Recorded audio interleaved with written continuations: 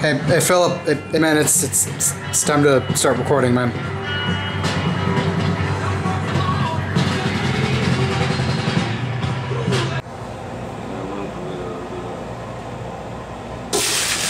Hello, my name is Philip Chung. I'm currently studying engineering at the.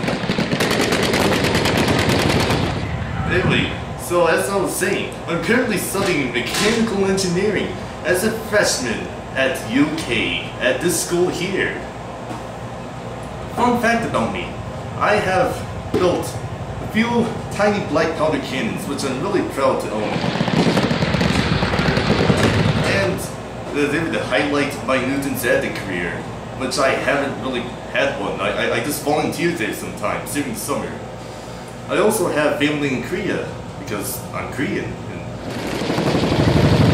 And anyway, so yeah, that, that, uh, that's, about, that's about it.